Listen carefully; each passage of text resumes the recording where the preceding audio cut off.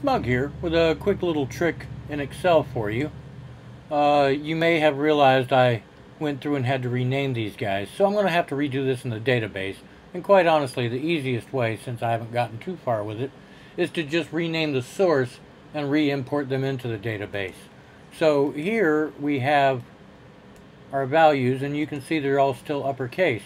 So right here, what we're going to do is we're going to go find a function for lowercase text, and that is usually lower, and here it is.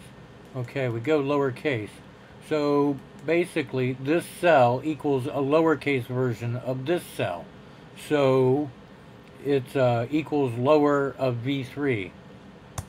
And that's all we got to do.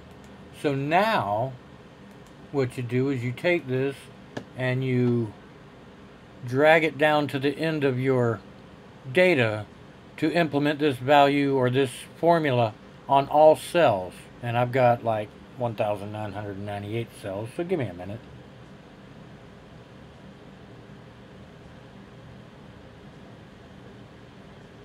Okay, and so here they all are. But see, these are the result of a formula. And you can never really be sure when you're pasting or copying. You don't want to do it in formulas because it's uh, it gets a little weird. So, we select them all, we copy them, we paste them special, and you just paste the value. And so it's completely removed from the whole formula thing.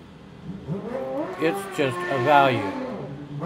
So, now we take this bit of data,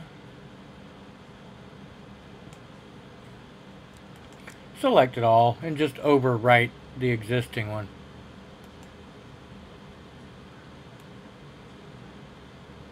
And of course now you can see it screws up the formulas in this guy, but we no longer care. We delete it, and we're done. And that's all I really needed to show you, was just a quick way to do that.